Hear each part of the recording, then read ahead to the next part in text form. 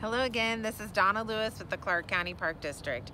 I'm here at the Davidson Interpretive Center um, in Clark County. It's one of our parks. I love this building, so I thought I'd use it in the background.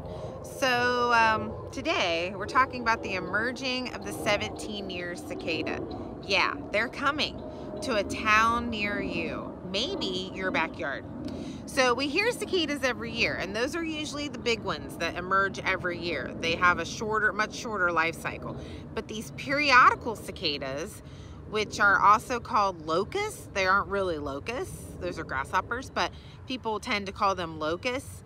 They stay in the ground, they have the longest life cycle of any insect. They stay in the ground for 17 years, so 17 year life cycle and they will be emerging in Ohio soon. So let's talk about the cicadas for a minute. Most people know them for the songs. Um, you've heard them, right? So you go outside on a summer night sometimes and you'll hear the songs during the day sometimes. And I love it. It's a cacophony of sound. And those are usually the males, most males call for the females. He's like, hey baby, what's up? She's like, oh, I like your sound, right? So then they mate and have young, right? So um, the males create this sound by flexing something called tymbals. They're drum-like organs found in their abdomen. Their abdomen is pretty hollow, I guess, so that's how they make their sound. Sometimes it's also by vibrating the airwaves outside, you know, around them. So that's how they make the sound. So the cicadas that we're gonna see are a lot smaller. Now this is similar to what we're going to see here soon. Okay, he's sitting, uh, it's a little statue of one. So the ones we see every year are pretty big, but these are a lot smaller, okay? Smaller, but they come in larger numbers, right? So when that ground starts to heat up to like 65 degrees and the surface temperature heats up, so for, for Ohio, it's gonna be probably towards the end of May that they're gonna start coming out. So this is what you're gonna see. And I'm a little windy out here, so I'm losing my stuff. So this is what you're gonna see. One of these guys, not this big, okay? It's not like coming down from the sky the size of an airplane, right? Or even a bird. It's pretty small. They've got those bright red eyes. They're a lot smaller, okay? And they've got the basic body parts of a insect, right? So three body parts, um, head, thorax, abdomen, and they've got a, um, a um, six pairs, six pairs, two, three pairs of legs, so six legs. I can't get my mind straight today. All right, so, and they are called a hemiptera or a true bug. These are a true bug. Not every insect is a true bug. So what makes them a true bug? They have mouth parts which can suck things out. So out of another insect or out of a plant. So for a cicada, it's a plant. So the cicadas have a beak, or it's called a rostrum in cicadas instead of a beak like a bird, okay? They use to suck fluids out of a plant, like a tree, mostly for cicadas. And this is how they eat and drink, okay? So cicadas start their life cycle as a rice-shaped egg, and I'm gonna get this little chart here. So they start their life cycle as, think of little pieces of rice, okay? So a rice-shaped egg, okay? And once this, oh, and the, fe the female deposits these, it's so bright out here, I can't tell what I'm doing in the camera. The female deposits these in little grooves of small tree limbs, which can affect the tree limb. But, um, so the groove provides shelter for the babies once they hatch and food. It exposes the fluid inside and then the babies can eat on the fluid.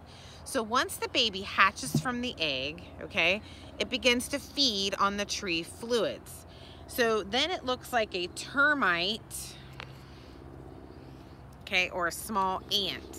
So they're really clear or kind of really white in color and they look like little termites to me. That's what they look like.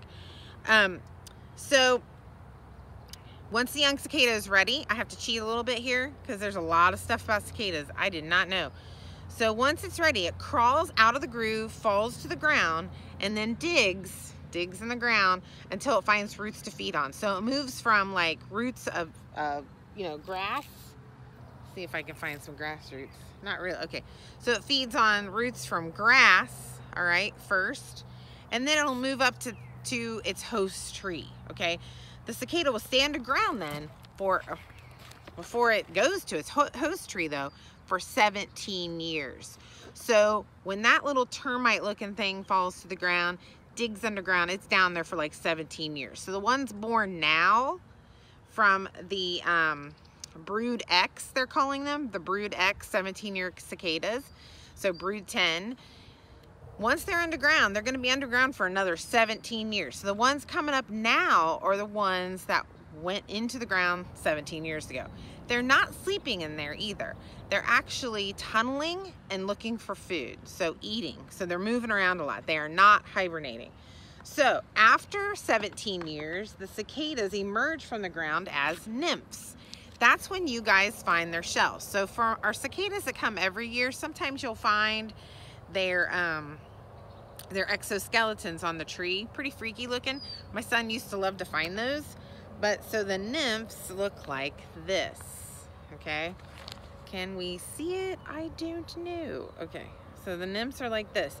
They're kind of a brownish, hollow shell when you find them. So these nymphs climb the nearest available vertical surface, hopefully a tree, you know, some kind of plant, all right, and begin to shed their exoskeleton. So then they, this is what it looks like. So they come out as this white creature, okay? This white form before they harden and get their colors and stuff. So they're coming out of this and they become an insect then after they leave that shell. So once their old skin is gone, their wings will inflate with fluid and their adult skin hardens, okay? Once their new body and their new wings are ready, then they can begin their very brief adult life. And I think it is like uh, two to four weeks, okay?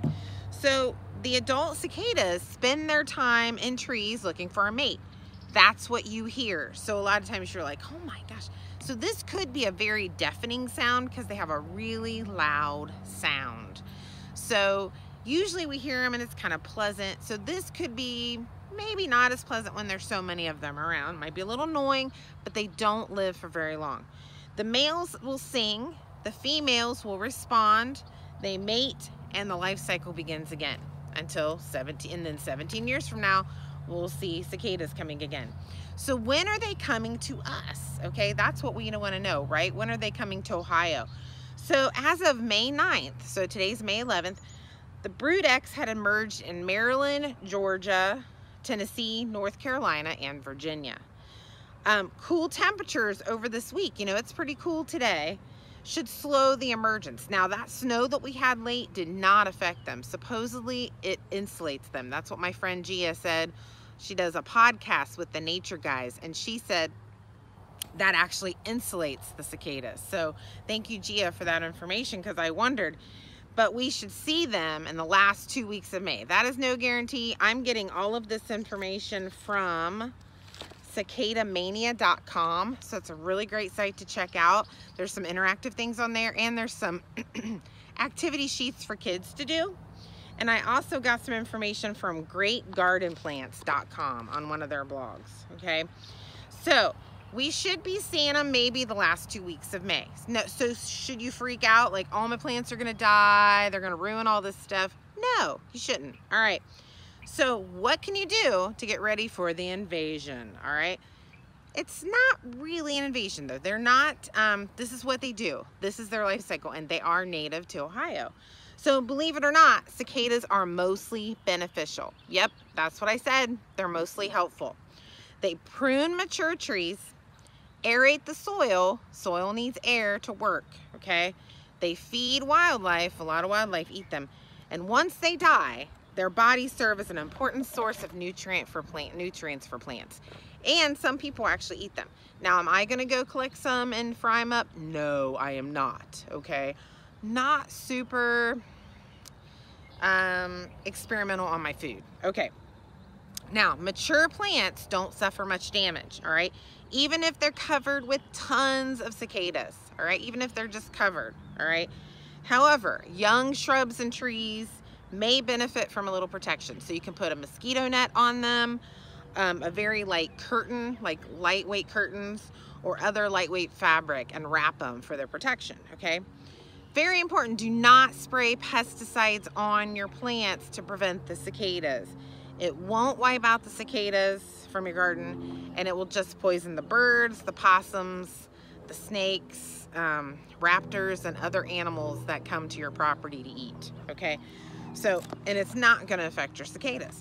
So, should we be nervous about these big-eyed insects that are coming in swarms? Not really. It may be a little annoying, but we'll get through it because they don't have a long life cycle and they can do a lot of good for the environment. There's a lot of there's a lot of animals out there that are really going to benefit from these cicadas coming to a town near you and your backyard, okay? So maybe you'll get them, maybe not. You might want to ask somebody that was around your area 17 years ago to see how many might be coming. So again, I got my info, a lot of my information from cicadamania.com. It's a great website. I encourage you to go to that. There's even some cool t-shirts and mugs on their page with cicadas. And yes, I bought a t-shirt. So if the cicadas come out and I can see them really well, I'm gonna do another video and show you my cool t-shirt. There's also a really great site, greatgardenplants.com. How, how do I protect my plants from cicadas? There's a a part on their website for that. So that's where I went. So enjoy them. Get your kids outside to study them a little bit. You know, check them out. It's really cool. So it's a really, a, a, just a very unique insect to check out. And the birds have really added to my video today by singing in the background. So I hope you guys have enjoyed that. All right, until next time, good luck with the cicadas. Bye-bye.